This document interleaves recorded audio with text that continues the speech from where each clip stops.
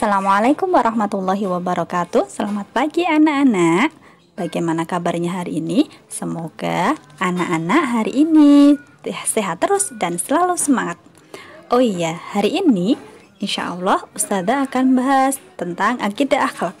Kelas 5 tentang kalimat toyibah Yang pekan kemarin sudah kita bahas tentang kalimat toyibah yang pertama Yaitu hamdalah. Hari ini Ustazah akan bahas tentang takbir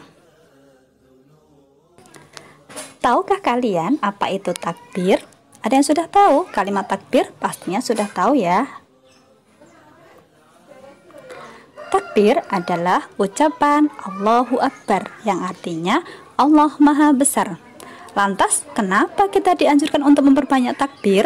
Karena dengan mengucap kalimat takbir, yakni mengucap Allahu Akbar, kita telah bersaksi atas kebesaran dan keagungan Allah serta menyadarkan kita bahwa manusia itu makhluk yang kecil. Dan sudah sepantasnya kita tidak boleh bersikap sombong ya. Lantas, kapan kita dianjurkan untuk mengucapkan kalimat takbir? Kalimat takbir itu diucapkan pada saat waktu-waktu satu waktu adzan, dua waktu iqomah, tiga waktu sholat, dan empat ketika zikir, dan kelima ketika hari raya, hari raya idul adha maupun idul fitri.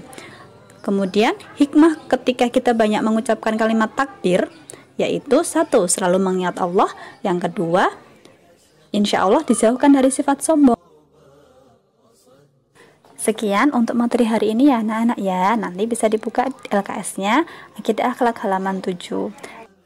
Sampai bertemu lagi di materi selanjutnya. Terima kasih. Wassalamualaikum warahmatullahi wabarakatuh.